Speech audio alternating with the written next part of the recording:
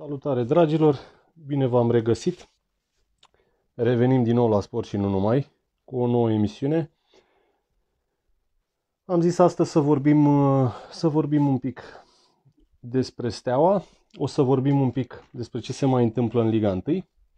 Văd că avem iarăși scandaluri, avem bârfe, avem și, avem și gesturi mai puțin potrivite, ca să nu le spun altfel, că văd că tot umblă umblă vorba întâi despre Buhnici, poate o să vorbim un pic și despre Silviu Buhnici.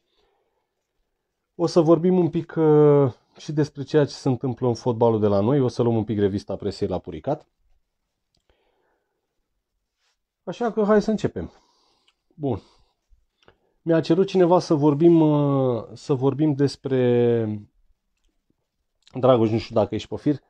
Uh, mi-a cerut să vorbesc despre cum a fost îndepărtat Arpad Pascani la, de la CFR Cluj.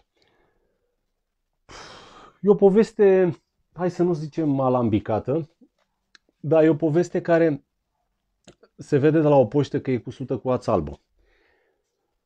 Nu știu dacă vă aduceți aminte, CFR Cluj avea o situație financiară foarte bună în perioada lui, lui Arpad Pascani, se făceau transferuri pe sume destul de consistente, clubul reușea să ajungă în cupele europene și se produceau bani de acolo. Existau, chiar dacă existau transferuri unele nereușite, CFR reușea și să transfere afară, pentru că a avut o perioadă destul de bună în care a reușit să transfere jucători buni afară, dar dintr-o dată lucrurile au început să se ducă la vale și am observat cum în scurt timp CFR-ul ajunge în insolvență. În condițiile în care Arpad Pascani era un om la vremea respectivă foarte bine cotat financiar și cu mare putere, mare putere în spate. Nu o să, nu o să intru foarte adânc în uh, subiectul cine l-a îndepărtat. Ideea este în felul următor, Dragoș, dacă ești pe fir. Uh, băieții care sunt și astăzi la, la CFR în spate, domnul cu mustață și un fost prim-ministru, plus încă vreo două persoane mari din anturajul PSD, au hotărât peste noapte că CFR Cluj e un bun, uh, e un bun numai bun de luat, ca să mă exprim așa.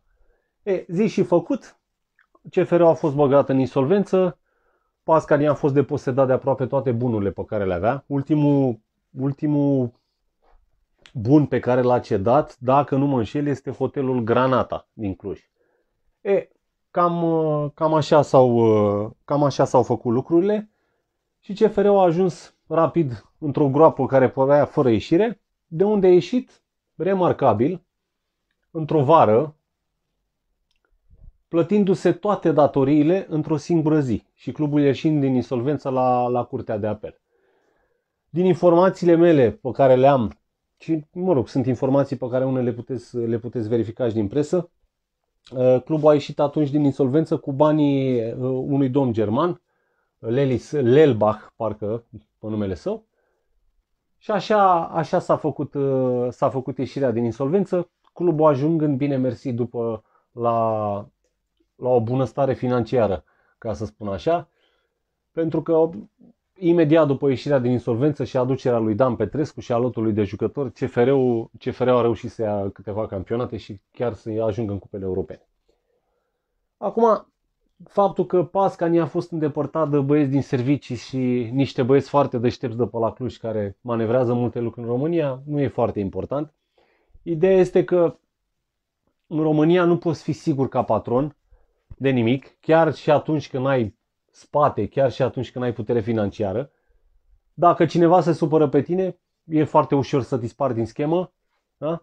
El avea, din câte știu la vremea aia, niște procese începute pe la Cluj, avea niște dosare destul de grele, care erau ținute pe loc. Șantajat sau neșantajat, lucrurile au mers ca unse și au scăpat repede de Pascani, el plecând chiar din țară la momentul respectiv, lucru care e valabil și astăzi, din câte știu. Asta ca să, ca să te lămuresc, Dragoș, nu știu dacă ești pe fir. Tu mi-ai cerut să fac câteva referiri la cum dispare un patron din fotbalul românesc. E, cam, așa, cam așa merg lucrurile.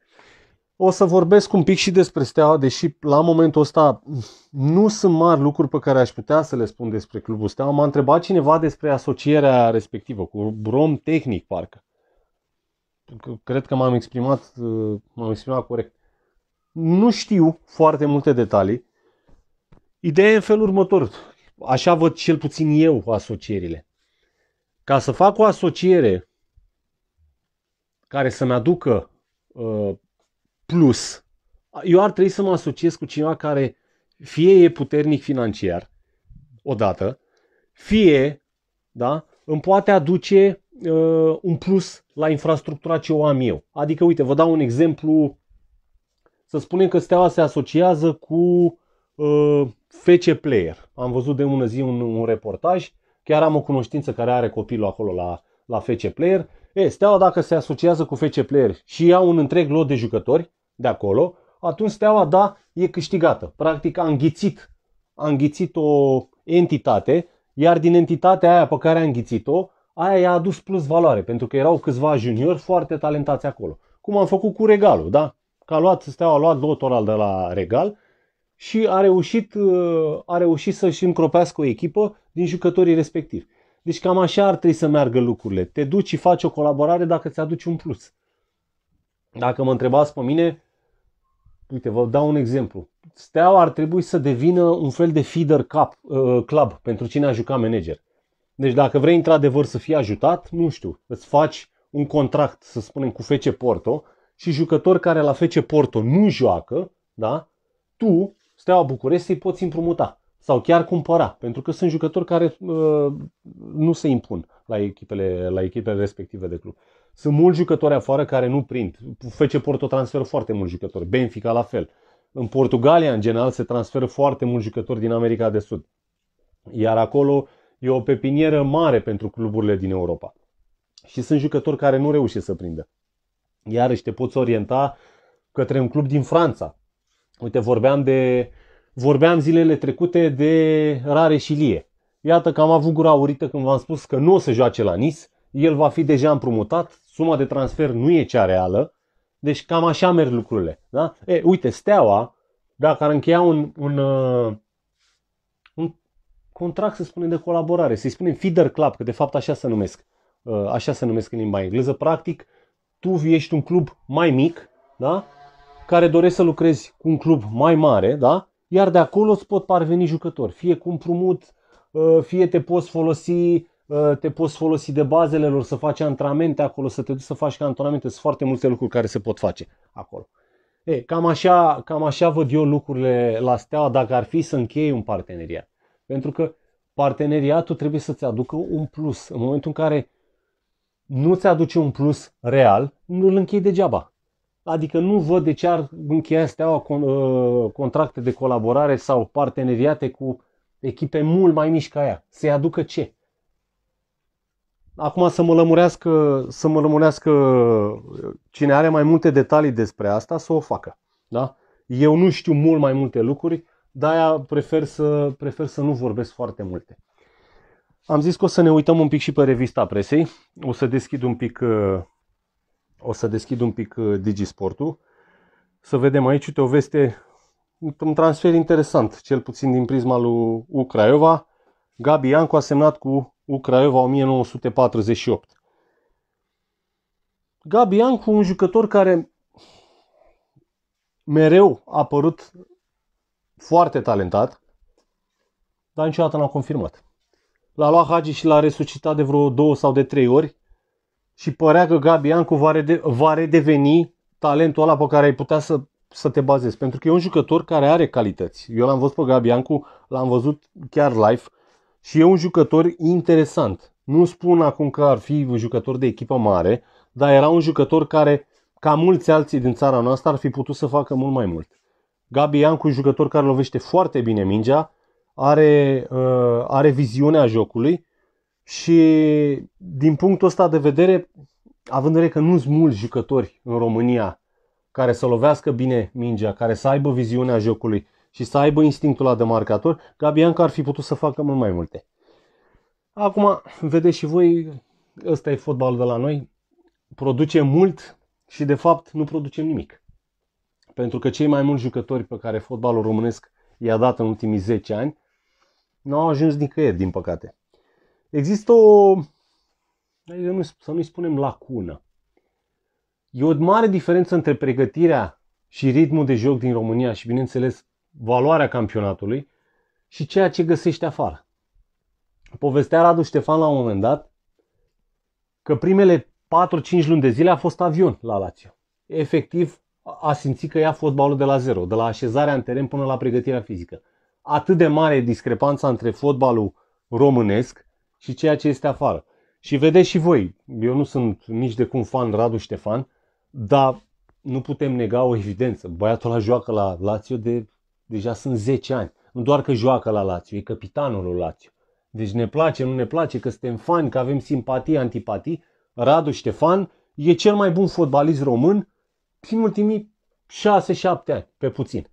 Da? Ca să nu spunem mult. Pentru că nu avem pe nimeni. Dacă suntem să ne uităm afară, România nu are fotbaliști afară. Radu Ștefan este singurul fotbalist care joacă la o echipă, eu spun, peste medie. Da? Că Lazio până la urmă e o echipă de cupele europene, Lazio e totuși o echipă cu nume în Italia și e o echipă care n-a făcut chiar figurație, adică nu e o echipă care să bate la locul 15 în Italia. E o echipă care mereu a fost măcar în primele 6-7. Ceea ce pentru România, da, să ai un fotbalist care să joace la o echipă clasată în primele șapte în Italia nu e de colea.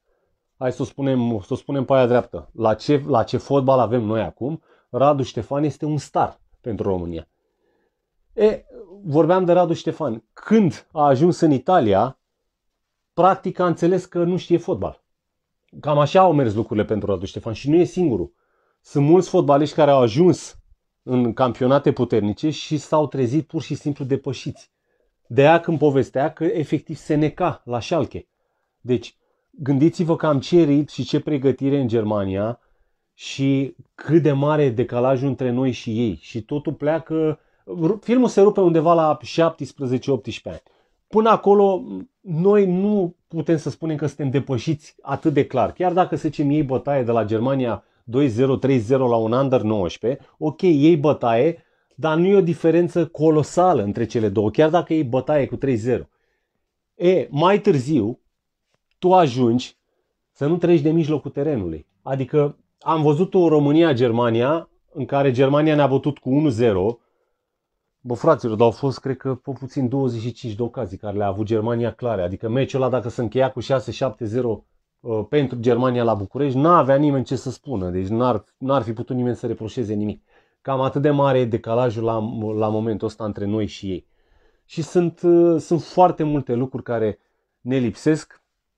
Ne lipsește în primul rând o infrastructură de care am vorbit și în emisiunea trecută, dar nu să reau partea cu infrastructura, dar ne lipsește și nivelul de pregătirea la antrenorilor, pentru că nu avem, România nu are antrenori capabili la momentul ăsta, nu, nu mai merge cu Heirup, nu mai merge cu ce făceam acum 15-20 de ani ca nivel de antrenor, deci lucrurile alea nu mai pot fi valabile astăzi și până nu vom evolua și acolo, ne vom zbate în aceeași mediocritate.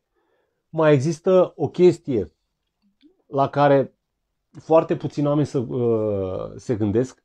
Noi suntem depășiți fizic, fraților. În primul rând, în primul și în primul rând, noi suntem depășiți fizic.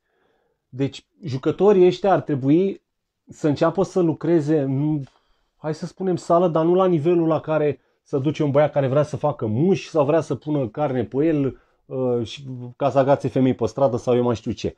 Nu, ar trebui să facă sală de la, uh, la un nivel de pregătire în care băieții ăștia să pună masă musculară pe ei exact, exact atât cât le trebuie, da, pentru înălțimea pe care o au, pentru nivelul de dezvoltare fizică, da, e, și ajungând la un nivel fizic bun, da, să poți să te bați cu băieții ăștia când te întâlnești afară, pentru că noi avem mari probleme în duelurile 1 la 1.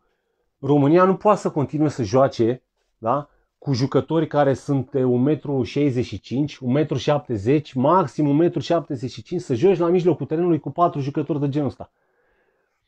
Acum, mulți, mulți se supără. Bă, n-am cum să joc și cu Răzvan Marin, și cu Stanciu, uh, și cu Maxim, să spunem că nici Maxim nu e vreun, nu e vreun înalt, atâta timp cât voi face fileu de mijlocul terenului, păi n-am nicio șansă.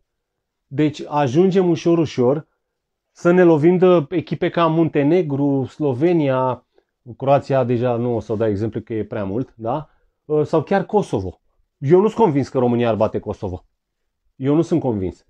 Pentru că aici întâlnim fotbaliști nu neapărat de o calitate tehnică excepțională, Noi trebuie să înțelegem că fotbalul ăsta tehnic nu că a murit, dar nu mai poate fi practicat decât în anumite momente ale jocului. Adică nu mai merge să o luăm și să o gâdilăm și să plecăm noi cu, cu pase din 16 metri. Că nu, nu avem așa. Deocamdată nu avem fotbaliști de genul ăsta. Deocamdată îți trebuie la mijlocul terenului niște jucători soliți, îți trebuie, îți trebuie echipă solidă din toate punctele de vedere pentru că trebuie să câștigi duelul 1 la 1 și România aici pierde flagrant pe, pe foarte multe faze, da? deci multe faze fixe, mă refer cornere, uh, dueluri 1 la 1, România e depășită total. Da? Și nu mă refer doar la Naționala României, mă refer aici și la echipele de club. Deci echipele de club că au vrut să dea lege acum, cu, să avem 40% sub, uh, jucători români. Păi dacă dăm legea asta, chiar putem să punem lacătul cu totul. Că România nu, România nu are fotbaliști la momentul ăsta. Este adevărat și este un lucru cert și verificat că nu poți să aduci toate mediocritățile de afară, da? să joace în locul unor copii tineri de la noi. Dar nici copiii tineri de la noi nu au valoarea de a juca în Liga 1 sau Liga 2. Și nu e vina lor. E vina noastră că n-am știu cum să-i creștem, e vina noastră că n-am știu cum să-i valorificăm. Deci nu e vina nimănui. Atâta timp cât vom dori să jucăm fotbal de tipul acesta, va fi foarte greu. Pentru că nu, nu ne putem permite. România nu are deocamdată Uh, nu are infrastructură, nu are pregătire, ca să nu mai spun de medicamentații. Deci ca, cam așa merg lucrurile și îmi pare rău că am deviat de la discuție că vorbeam de, de Gabi Iancu și vorbeam de fotbaliști de ai noștri care nu au confirmat afară și foarte mulți dintre ei nu confirmă afară. Din păcate, asta e problema principală a fotbalului românesc, pe lângă faptul că nu reușim să, nu reușim să, să producem suficienți fotbaliști, ăia pe care îi producem, nu confirmă niciunul. Și neconfirmând, e foarte greu să încropim o națională sau să ne facem speranțe că fotbalul românesc o să evolueze. Nu, ne, ne păcălim deocamdată. Ăsta este, ăsta este răspunsul, dacă vreți aici. Uh, aș dori să mi se spună dacă se aude ok și dacă aveți, dacă aveți întrebări de asemenea, să mi le, să mi le lăsați aici, le voi, le voi da citire. Da? Ok, hai să ne mai uităm pe, pe revista presei. Uh, văd aici un articol interesant pe nici nu, nici nu am știut. Barcelona se, îmbună, se îmbogățește din vânzarea tricourilor cu numele lui Robert Lewandowski. E, vă dați seama că, te revenim iar la, revenim iar la fotbaliști. Polonia a, a produs niște super fotbaliști în ultimii 6-7 ani, ceea ce noi încă suntem, încă suntem restanți. Gândiți-vă că ăștia vor fac avere dintr-un, uh, uh dintr-un transfer eu nu consider pe Lewandowski terminat, Doamne ferește. Însă Lewandowski a dat, a dat cam tot ce a putut la, la Bayern München. Nu știu dacă la Barcelona va mai face aceeași figură. A ajuns și la o vârstă, pare mi se că are undeva la 33 de ani. Nu știu cât chef va mai avea să joace la, la Barcelona, așa cum a făcut-o la Bayern München. Plus că acolo a avut și o echipă care se plia exact pe stilul lui și pe, pe ce îi place să joace. O să mă, o să mă mai uit un pic pe, pe revista presei. Să vedem ce mai avem aici. De Gabi Iancu am vorbit. Nu o să intrăm în fotbal internațional cu cei mai buni 10 fotbaliști, că aici este discutabil. O să ne uităm un pic ce se întâmplă și la FCSB, de ce nu, cu toate că nu, nu sunt fanul nici al unei Gigi, nici al FCSB-ului. Îl salut pe Daniel Mărăcine. Salutare, Daniele! zice că Gigi Becali îl critică dur pe Florin Tănase. Păi mă, Gigi, dacă tu nu știai ce ai la ușe, acum cred că ți s-a luat și ție până la urmă de ei. Te-ai, te-ai prins și tu că nu poți câștigi campionatul cu aceeași echipă, să ții aceeași echipă șapte ani de zile și să nu câștigi nimic cu ei, ți închipui că cam asta, cam asta e valoarea. Am înțeles că ar fi, urat, ar fi urlat Tănase că ar trebui transferuri făcute și că lotul e slab. Păi mă, acum nu e treaba lui, că eu spun că nu e treaba unui fotbalist să judece el politica de transferuri a unui club. Uh, în foarte rare ocazii am fost de acord cu Meme Stoica, dar de data asta trebuie să-i dau dreptate. Tănase câștigă la FCSB 1000 de euro pe zi, are 30.000 de euro pe lună. Grija lui chiar n-ar trebui să fie cine intră și ce se decide pe bancă sau ce se decide în tribună. din punctul ăsta de vedere, Tănase n-are niciun cuvânt de spus, din punctul meu de vedere. Adică n-ai tu ce să discuți despre ce se întâmplă la club și cine vine, cine pleacă. În ceea ce îl privește pe Tănase, gândiți-vă că anul trecut a dat 22, 23 de goluri, nu știu câte goluri. Oricum a avut niște cifre bune față de alți ani, uh, față de alți ani și de ceea ce a fost în România la nivel de golgheter, Tănase a fost sus. E, gândiți-vă că nici așa, nici măcar așa, nu l-a transferat nimeni și e o clauză de 3 milioane. Asta vă spune multe de ce înseamnă, de cât înseamnă campionatul României.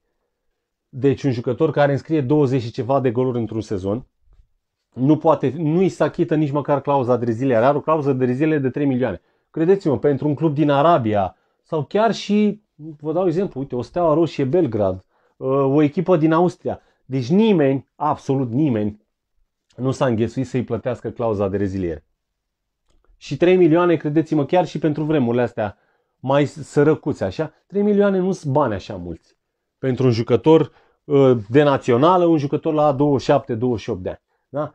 Pentru că Tănase nu e vreun mare fotbalist. Și acum probabil, probabil uh, o spun și ei pe față, că s-au săturat din punctul ăsta de vedere. N-a făcut Tănase mare brânză la, la FCSB. Cu astea 20 de goluri care le-a dat sezonul trecut, e un fotbalist limitat. Eu când am citit că fundașul central a alergat mai mult decât Tănase, am făcut cruce. Deci un fotbalist care joacă la mijlocul terenului aleargă mai puțin decât fundașul central. E diferență și de vreo 2 km între ei. Deci închipuiți-vă.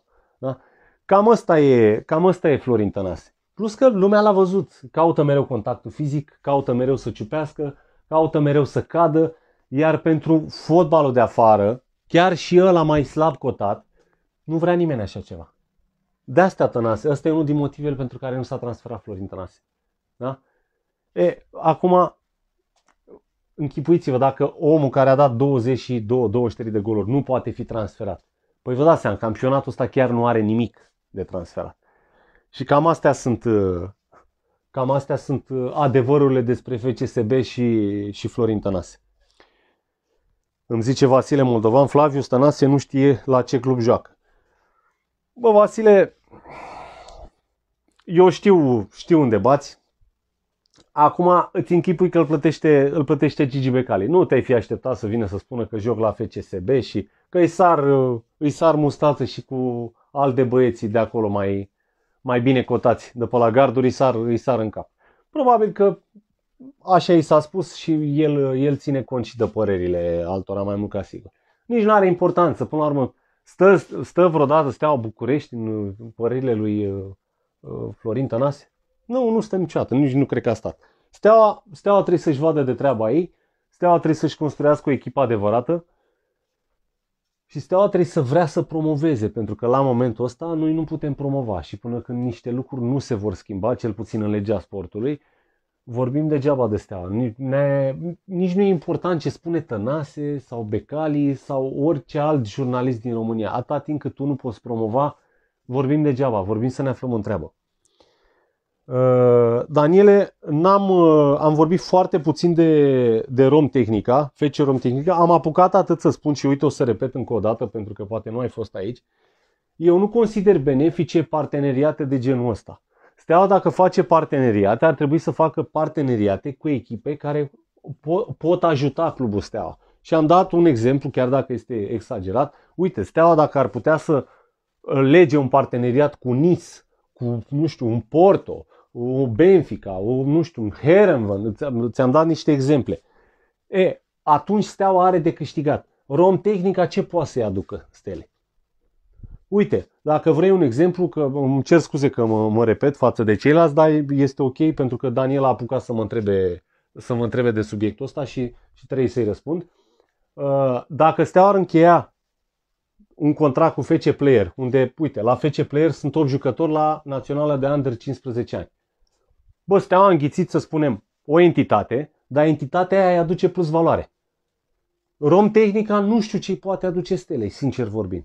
Acum, dacă tu ai mai multe informații sau cineva are mai multe informații despre Rom Tehnica, să mi-o spun aici și sigur vorbim, nu e niciun fel de problemă. Eu nu cunosc mai mult despre Rom Tehnica la momentul ăsta. Dar v-am spus, părerea mea sinceră este că atunci când închei un parteneriat cu un club, Păi clubul ăla pe tine trebuie să te ajute, să-ți aducă un plus. Atâta timp cât tu nu ai un plus, la ce să mă duc să închei un parteneriat cu Romtehnica? Aici e, aici e singura, singura hibă pe care o găsesc. Ce mi-aduce Romtehnica în plus mie? Nu, Steaua trebuie să se bazeze pe ceea ce are, are o bază pe care ar trebui să o modernizeze, da?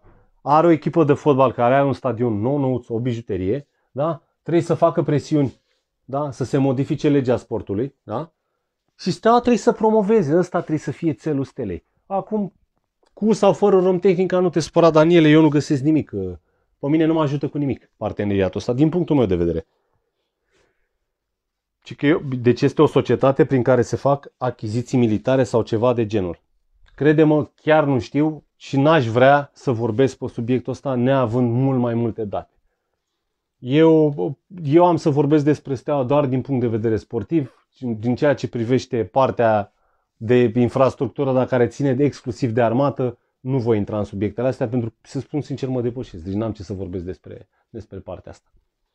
Da. Dacă, dacă mai aveți întrebări, hai să ne mai uităm un pic și pe, pe revista presei. Vedem ce, ce mai avem aici.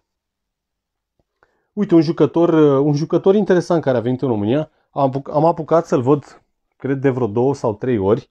Virgiliu Postolachi este luat de la PSG, a ajuns la UTA astăzi, i s-a plătit grila de formare. Un fotbalist interesant, prin prisma faptului că e crescut în Franța. Nu știu dacă părinții sunt, crescu- sunt uh, și ei acolo, dar un fotbalist foarte interesant. L-am văzut în două, trei amicale, un fotbalist cu fizic foarte bun, care ar putea să ajute, ar putea să ajute clubul. Îmi spune Lucian Andrei, Romtehnica nu este club de fotbal, ci o societate cu capital de stat, a cărui proprietar este MAPN. Ministerul vrea să facă o societate comercială nouă în care asociații să fie Steaua și Romtehnica, ca să evite legea la fel cum fac primările. Luciane, dacă, dacă pe noi ne ajută asocierea asta și dacă clubul poate promova, din partea mea să se asocieze cu oricine. Deci din punctul meu de vedere, Steaua să asocieze cu oricine. Dacă asta ne ajută să promovăm, pentru mine e foarte ok. Atâta spun că nu cred că trebuie noi să ajungem să ne asociem cu Rom Tehnica. Adică ajungem să facem toate căcaturile, mai puțin să schimbăm legea. Și eu, eu am mai spus, am mai avut odată discuția asta pe la Steaua Liberă. Băi, e oricum o anomalie. Ce au făcut ăștia aici este o anomalie. Și vreau să fiți foarte atenți că o să vă spun o chestie. Deci Steaua are voie să joace în Liga 3 are voie să joace în Liga 2 dar nu are voie să joace în Liga 1. Deci Liga 3 e profesionistă, Liga 2 e profesionistă, Liga 1 bineînțeles că este profesionistă, dar tu nu-mi dai mie voie să joc în Liga 1. Deci același fotbal profesionist care e în, în 3 ligi, în Liga 1 nu mai poate fi, nu mai poate fi uh, bun pentru Steaua. Deci Steaua nu are voie să promoveze în Liga 1. Deci fotbalul profesionist se oprește pentru Steaua la Liga 2. Aș vrea să, să-mi arate și mie articolul de lege în care mi se spune că Steaua nu are voie să joace decât până la Liga 2. Vă spun eu că nu l-au. E o aberație. Este o aberație. Oricum se joacă pe bani publici. Deci, indiferent ce vor spune ei la televizor și ipocrizia și mitocăniile care le fac vis-a-vis de Steaua, astea sunt niște căcaturi. Steaua ar putea să joace bine mers în Liga 1. Steaua nu încurcă pe nimeni. De Steaua nu încurcă pe nimeni. Da? Sunt atâtea primării care dau bani lumea face o confuzie, domnule, că e club de stat. Bă, fraților, și primăriile sunt tot ale statului, da? Că nu sunt entități private. Primăria, eu sunt din București, da? Primăria orașului București nu e privată. În momentul în care ăștia îmi cer mie bani la parcare, da? La parcarea din fața blocului, băi, ați bani care să ducă către statul român, nu să ducă către o entitate privată, da? Adică de ce CSM București a avea voie la un moment dat să aibă 20 de milioane de euro buget și să aibă nu știu câte secții, da? Și să-i dea lui Cristina Neagu, care nu am nicio problemă, poate să o plătească cu câți bani vor. Deci pe Cristina Neagu ai voie să o plătești cu 30 de mii din banii de la primărie, dar clubul Steaua nu are voie să joace, că e club departamental. Și stați un pic, că legile astea se aplică doar când e vorba de echipa de fotbal. La Steaua, la Hamba, la hockey, oricând alea au putut să joace în Liga 1. Deci lucrul ăsta se aplică numai la fotbal. De ce? Pentru că cine are cineva interes. De asta vă spun că nu că e cu sută cu ața albă, doar dacă ești prost la cap și tâmpit, nu poți să vezi lucrurile astea, sunt niște anomalii cât casa. Și vă mai dau un exemplu, dacă vreți. Deci, Federația Română de Fotbal, ea ca să existe, trebuie trecută în registru de federații. Este un registru de federații, da? Care este aprobat la tribunal, da? Deci, și iar tribunalul este al statului român. Deci, deci această federație există da, ca entitate publică de uh, uh, drept privat da? E, și ea plătește taxe către statul român. Da? Deci nu, nu e afiliată statului, dar ea există pentru că statul român îi permite. Aceeași federație spune că o echipă a statului român nu poate, nu poate participa într-un campionat organizat de FRF. Voi vedeți anomalie aici? Deci FRF-ul există pentru că îi permit legile statului român, dar FRF-ul spune că o echipă a statului român nu poate juca.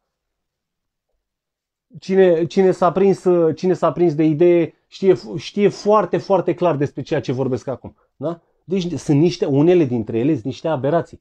Deci când mai vin ăștia și spun că steaua joacă din bani publici, bă băieți, dați-le peste nas și spuneți-le. Bă, de când a ajuns FRF-ul să fie stat în stat?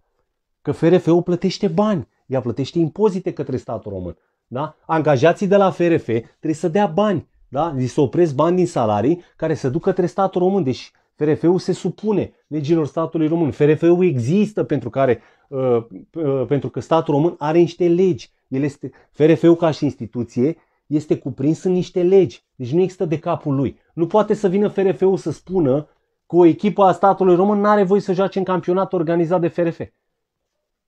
Deci mult, sunt foarte multe aberații. Foarte multe aberații. Steaua dacă nu avea voie să joace, nu trebuia să joace nici în Liga 3. Fotbal, fotbalul profesionist înseamnă ligile a treia, a doua și Liga 1. Da? Deci cum poți să mă las să joc în Liga a doua și în Liga 1 să spu- să-mi spui că nu am voie? De, de unde? Asta e o inepție. Deci este o mare inepție. Uh, ce îmi spui tu, Lucian, aici? Da, pentru că Liga e organizată de FRF, de LPF și nu de FRF. Este o aberație, normal? Da, așa, să vedem că n-am apucat să citesc ce e scris. Cer scuze, dar vreau să apuc să citesc uh, ce mi-a scris Lucian aici. Uh, așa, este o aberație doar pentru că articolul 31 din legea sportului spune că în cazul competițiilor organizate de o ligă profesionistă, cluburile trebuie să fie asociații non-profit sau societăți comerciale pe acțiuni, iar Steaua este o unitate militară. Evident că este o aberație. Bă, Luciane, e unitate militară, dar clubul sportiv al armatei Steaua nu e unitate militară, adică secțiile sportive nu au nicio treabă cu unitatea militară. Deci eu cred că există o, o departajare clară între cele două. Am înțeles că acolo e unitate militară, dar pe terenul ăla de fotbal, ăla, ăla, pe care, ăla nu e unitate militară, tată. Că e construit în cadrul unei milități militare, ce contează asta? Bine, noi am mai vorbit, cine e, nu, nu cine este list, cine om cu capul pe umeri și a văzut niște lucruri și le-a înțeles, știe despre ce vorbesc. Da? Acolo sunt niște interese, la un moment dat probabil că se vor stinge. Trebuia modificată legea sportului. Pe mine nu mă interesează că Steaua se asociază cu, se asociază cu Romtehnica. Pe mine m-ar fi interesat să modifice legea sportului, Steaua să joace liniștită în Liga 1.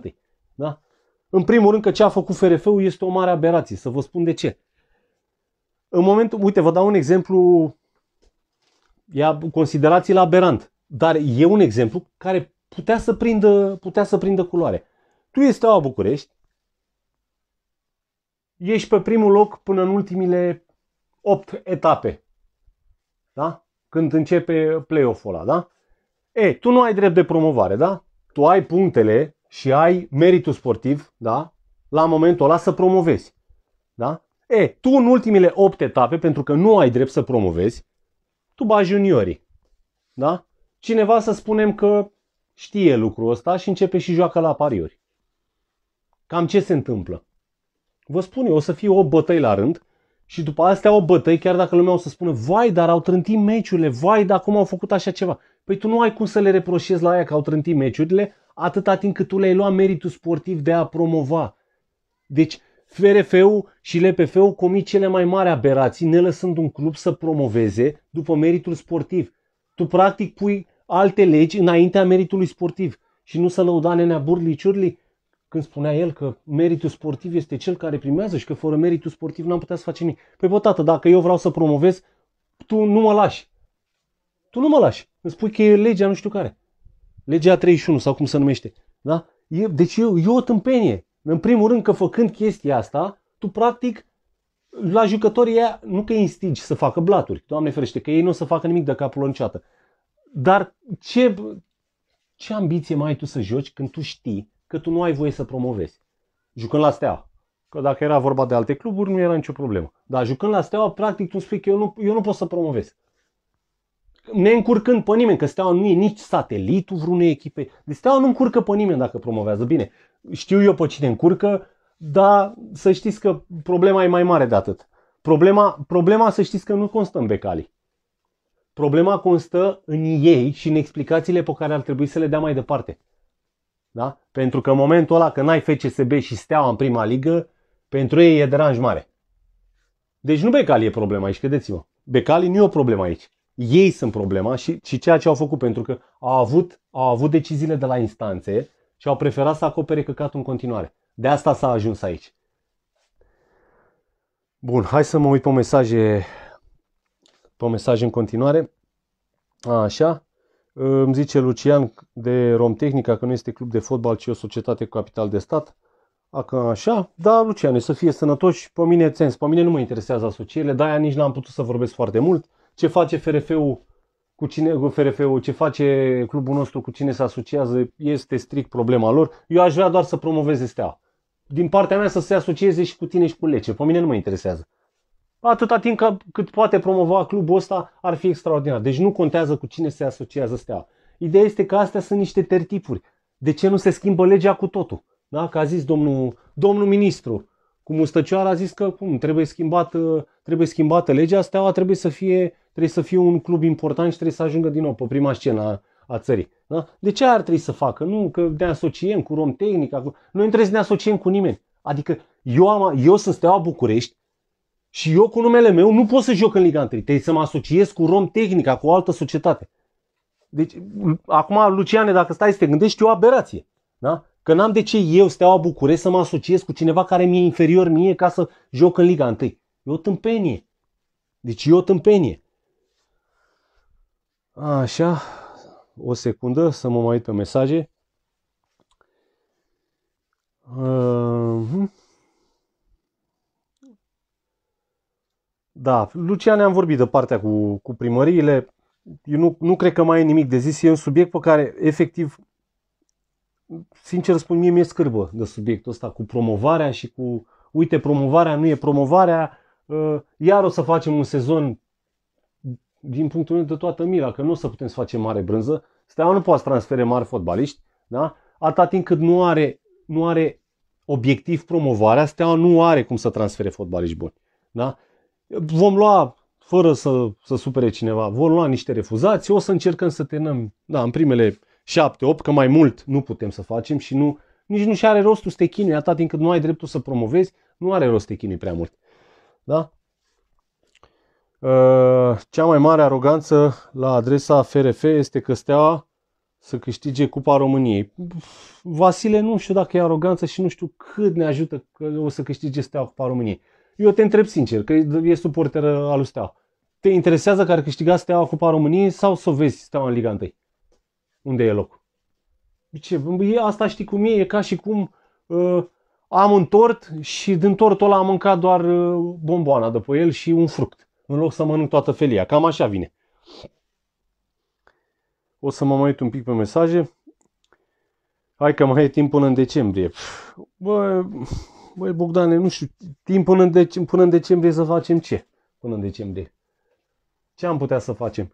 Legea ar trebui schimbată acum dacă, dacă e schimbată. Deci nu, nu trebuie stat până în decembrie. Iar dacă se asociază, eu vreau să văd un comunicat al clubului în care să spună, băi, uite, am făcut asocierea asta, de aici încolo clubul nostru are drept de promovare în Liga 1 și să înceapă să aducă fotbaliști. Asocierile nu sunt importante. Îți dai seama dacă o echipă își dorește să ajungă undeva după transferurile care le face. Adică dacă o să vină Oprița și prezintă 10 fotbaliști într-o zi și spune, mă, ăștia sunt fotbaliștii cu care atacăm promovarea, aia este cea mai tare asociere care poți să faci. Restul sunt povești. Romtehnica, Dedeman, Heineken, că am tot vorbit de, de 4-5 ani, tot vorbim de sponsori și tot vorbim de uh, numai de uh, numai de gogomănii din astea, da? Am vorbit numai de, numai de mă iertați o secundă, uh, am vorbit numai de oameni care și-ar dori să se asocieze cu, cu clubul nostru și nu s-a asociat nimeni. Suntem în aceeași mocirlă. Da? Cu părere de rău acolo suntem. Nu, nu, nu trebuie să ne păcălim. Și vina să știți că nu e... Uh, multă vreme am dat într-un singur personaj. Bă, ăla de unul singur nu putea să facă toate lucrurile astea. Deci prima vină și cea mai importantă este în uh, curtea clubului da? și la minister, la mea PN. Deci dacă e cineva de înjurat și uh, vrem să facem ceva, acolo trebuie să batem cu piatra. Da? Nici de cum. Becali, Becali de unul singur nu poate să facă nimic. Rețineți. Și Becali la momentul ăsta, și eu nu cred că ar mai păți ceva. Chiar dacă Steaua intră în Liga 1, eu nu cred că ar mai păți ceva. Deja, chiar dacă ei mai vorbesc pe la televizor și mai scapă și mai fac o confuzie, deja s-a făcut o departajare clară între Steaua și FCSB, indiferent că acum se va rejudeca procesul, nu se va rejudeca nimic. Acum n-am mai vorbit cu Talpan de ceva vreme, dar pot să vă spun că nu se va întâmpla nimic nici la rejudecare, că ei nu au cu ce probe să vină. Pur și simplu, dacă vreți, asta este doar o amânare, pentru că amânarea asta îl ajută pe Becali să nu plătească alea 37 de milioane de euro. Asta e tot ce, asta e tot ce s-a sperat în cazul de față. Deci nu, ei nu vor altceva decât efectiv să mai treacă timp, da? Și cu cât trece mai mult timp, poate, poate, cine știe, apare o lege și se prescrie, că visul lui cred că ăsta e de fapt. Să se prescrie ce e acolo, pentru că el în instanță nu mai are cu ce să vină să apere. Mă înțelegeți? Aici s-a ajuns. Dar nu are, steaua nu are ce să pățească, din punctul ăsta de vedere. Da, fără o presiune mare și un protest la adresa conducerii și a ministerului nu o să obținem nimic. Bă, Vasile, cam da, că nu... Ce, ce poți să faci? Adică poate ar trebui să strângă, nu știu, decât să, decât să mai mergem la meci, îți dau exemplu, mai bine, nu știu, se strâng 10-12 mii de oameni și se duc la minister.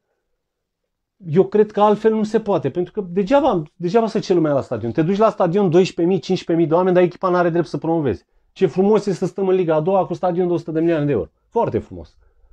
Și nu e vorba că dacă eram o echipă mică, eram o echipă mică. Spunea, domnule, ne-a făcut și nouă primăria, ne-a făcut stadion, oricum trebuie să ne bucurăm. Nu vreau să fac comparația acum să supere suporterii altor echipe, dar noi nu suntem poli.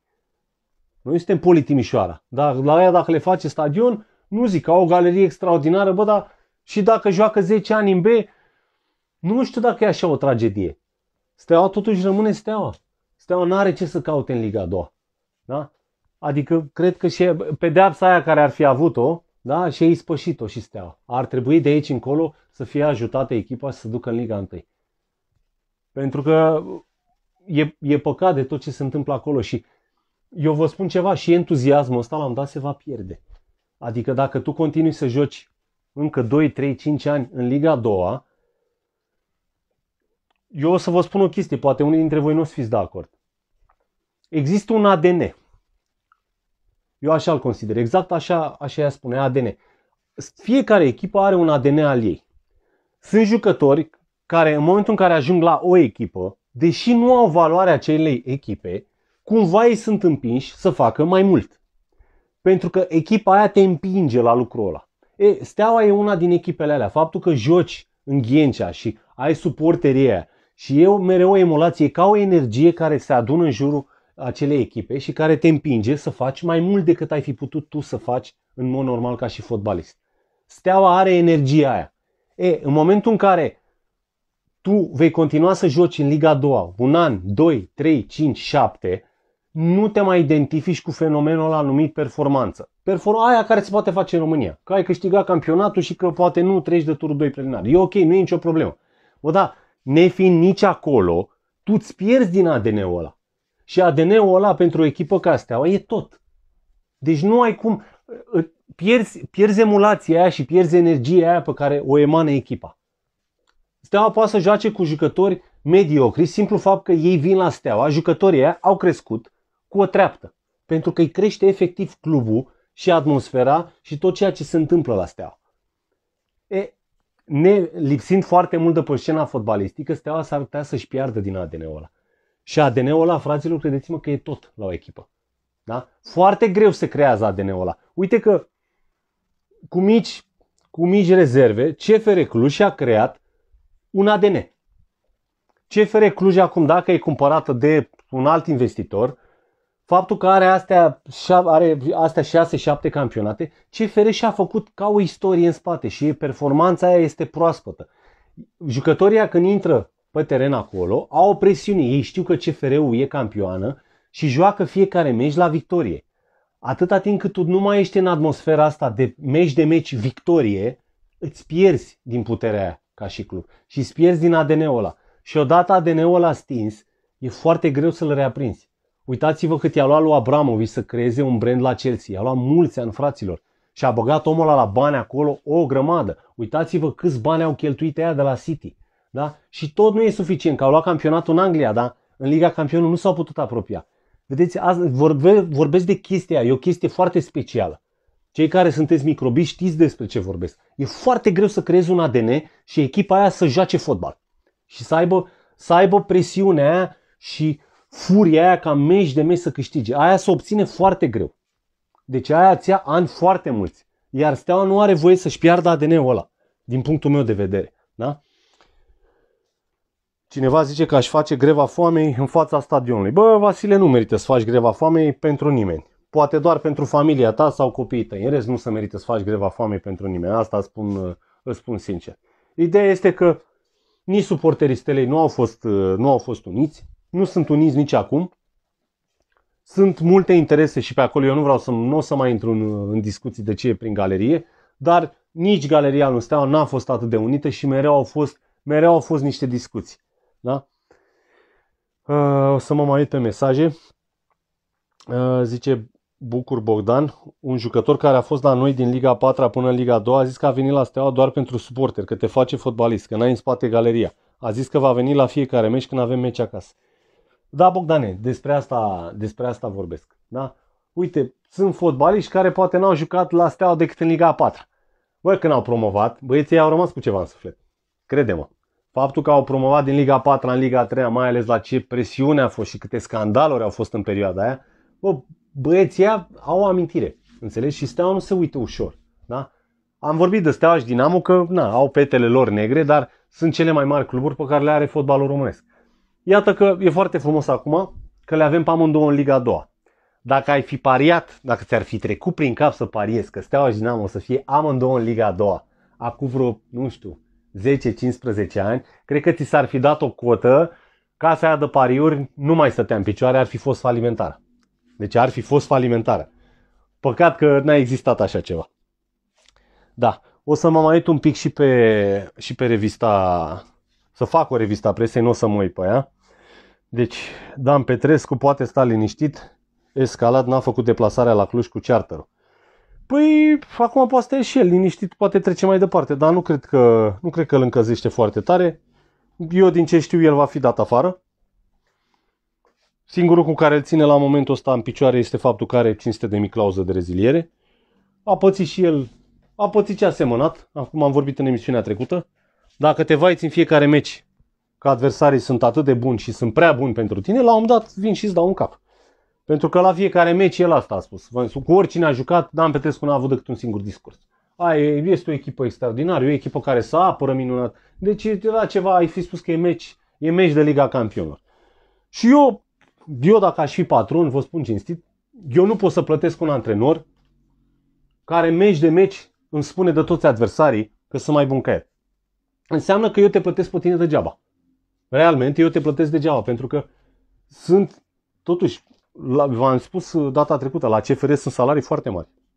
La CFR, chiar dacă au investit prost, bă, s-a investit la CFR. Adică tu ai putea foarte bine, mersi, să scoți și echipe care au buget dublu sau triplu decât tine. Deci nu e, sunt echipe cum e Caragandi, sunt echipe cum e Victoria Plâjen, astea sunt echipe pe care tu ar trebui să le abordezi jucând la victorie, da? Și sunt echipe care au buget superior ție și care vor și ele să ajungă poate în Liga Campionilor, da? Deci nu merge. Dan Petrescu a, avut mereu, uh, a fost mereu un antrenor cu mentalitate de om mic. Hai să, hai să nu, că-s răutăcios acum. A antrenat doar echipe mici pentru că și mentalitatea lui a fost pe, tot pe măsura asta. Adică dacă vrei să fii antrenor și când te întâlnești cu Celtic o să spui, bă, nu știu ce facem, cum facem. Eu sunt antrenorul CFR Cluj, am 22 de băieți în spate pe care îi pregătesc, am un patron care îmi face toate poftele, nu știu ce o să fac și cum o să fac, dar voi face tot să mă calific. Nu că vin și spun că ei au venit cu, au venit cu charterul și că au dormit la un hotel de 5 stele și niște aberații. Niște aberații. De-aia l-a și pedepsit Dumnezeu din punctul ăsta de vedere. Adică nu merge, nu, lucrurile nu merg așa. V-am spus și, și luni când am făcut emisiunea, dacă tu proiectezi căcat, căcat îți vine înapoi. E simplu. Asta a vrut Dănuț, asta, asta a venit înapoi. Ia să ne mai uităm pe, pe întrebări un pic. Uh, anul ăsta fac pariu cu cine vrea că termină pe locul 1. Uh, Bogdane, trebuie să-mi spui la cine te referi, că, da? că termină pe locul 1. E posibil tot CFR-ul să termine pe locul 1, dar nu e vreo performanță, având în vedere ce fotbal are România la momentul ăsta, nu e o performanță să câștigi campionatul din România. Deci eu vă spun că o echipă care are un buget până în 5 milioane de euro, da? și care și-ar, și-ar plăti jucătorii la timp, eu cred că în România poate lua campionatul dacă are un management, uh, dacă are un management ok. Deci dacă aduci fotbaliști străini de afară și credeți-mă că sunt foarte mulți fotbaliști buni. Uitați-vă la Botoșan câți fotbaliști a adus, da? Gândiți-vă ce înseamnă să poți să plătești mai mulți bani la salarii decât a plătit Botoșan. E, și în momentul ăla realizați ce fotbaliști ar putea veni în România. Deci în România se poate lua campionatul foarte ușor. Faptul că Dan Petrescu a luat 5 campionate în România, uh, felicitări lui, să mă ierte, v-am spus, am simpatiile mele legate de CFR stând acolo, dar nu e vreo super performanță, știind ce fotbal se joacă în România. Da? Deci știind ce fotbal se joacă în România, Dan Petrescu n-a rupt nori. Până la urmă, iată că campionatul ăsta care l-a luat ultimul are zero valoare dacă Pionic Erevan te scoate. Deci zero valoare, credeți-mă. Da, cam așa stau, cam așa stau lucrurile. Uh, îmi zice Bogdan, la Steaua, nu la alte echipe, că nu vizionezi Liga la sate. Bogdane, nu știu ce să zic dacă te pe locul 1. Noi nu avem echipă de locul 1. Deci noi nu avem echipă de uh, nici măcar de primele patru. De Steaua, la momentul ăsta, chiar dacă anul trecut a terminat în play-off, se, se știa că Steaua totuși nu va promova. Puteai să vezi chestia asta. Da? Deci nu, eu nu văd, să, nu văd să promovăm, indiferent de ce asociere se face. Adică dacă tu vrei să promovezi, păi, trebuie să vii cu jucători serioși. Pentru că nici Liga a doua nu vă închipuiți că va fi ușoară. Și nu uitați că Liga a doua, ca și Liga 1, își are și ea poveștile ei. Și și acolo sunt interese politice și se trag uh, caii dintr-o parte încoace. Da? Deci nu e ușor de promovat. Liga a doua poate e chiar mai grea decât Liga 1. Pentru că la un moment dat, la un moment dat, ați văzut că la Liga 1 se face play-off, unele echipe nici măcar nu-și mai dau interesul. E, la Liga 2, în principiu cam joacă toată lumea. Joacă toată lumea, chiar și când este play-off, adică culmea, pare un campionat mai interesant decât este Liga 1. Și să știți că diferența de valoare între ele nu e mare.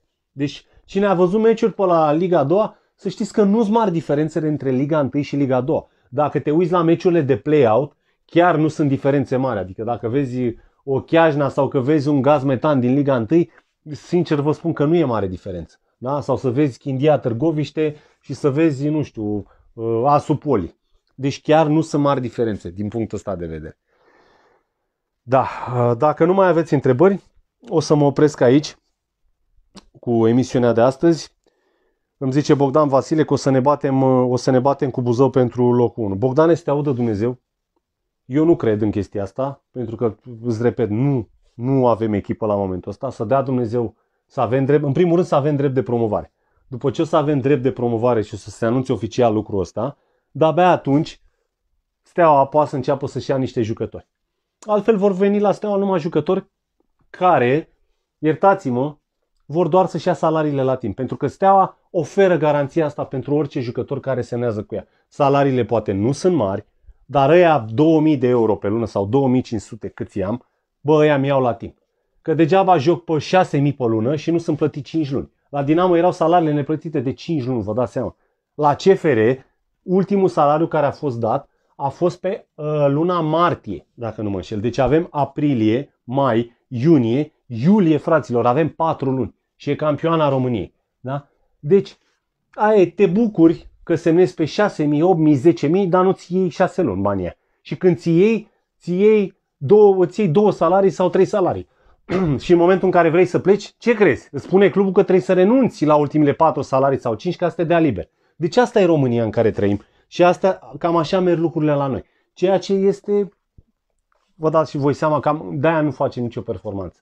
Și e foarte greu să facem performanță. E foarte greu să mai vină jucători buni în România pentru că deja ni se duce numele ăsta de uh, prost plătitori. Am ajuns și noi să fim tot ca turcii, tot ca arabii, că și acolo se făceau manevre de genul ăsta. Da? Deci, cam așa stau lucrurile. Da? Vii la Steaua pentru că ți iei banii la timp. Dar performanțe, să mă ierte Dumnezeu, nema. Fraților, vă salut! Să dea Dumnezeu să ne auzim de la excelent în sus. Vă urez tuturor o seară frumoasă și să, să, ne, auzim, să ne auzim cu bine. Numai bine vă doresc!